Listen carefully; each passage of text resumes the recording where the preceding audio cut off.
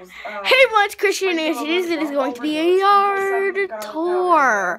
Like you probably saw in my intro and I did, I mentioned that in my last video. But anyways, soon I will not be here for a couple weeks because I'm getting my tonsils out which is coming soon. So I hope you guys enjoyed today's videos and let's get popping.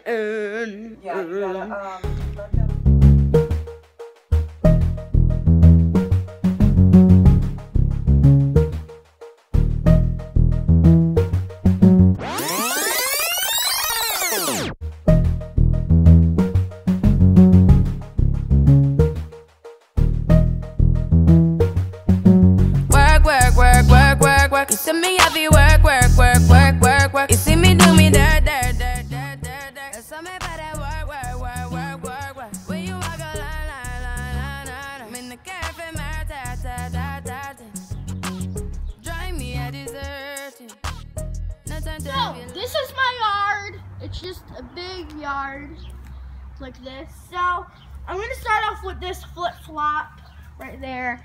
Water gun, um, I have a whole bunch of balloons from the balloon video, but I deleted that video because of the audio.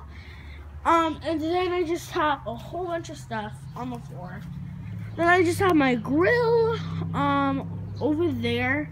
It just has like a cover on it. So if it rains, nothing gets on it. And then I have just stepped in snow because I have no sneakers on.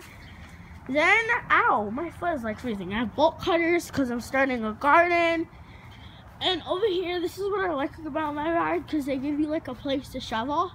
You have a shovel right there. And then I'm not going to go in there because the video would be like so long. And I have like the fire pit thing. And also over here is another space and have my bike.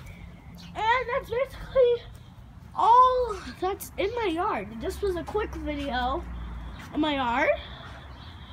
And then I just have a shed over there, um, windows, and I just have an abandoned car just sitting there. And right when we moved in, that was sitting there. And that's all in my yard. Leave a comment if you like yard videos and tour videos. Did you like it? Comment down below if you like these videos and give this video a thumbs up, a thumbs up and subscribe if you're not already. I love you guys so, so much and I'll see y'all tomorrow. Bye.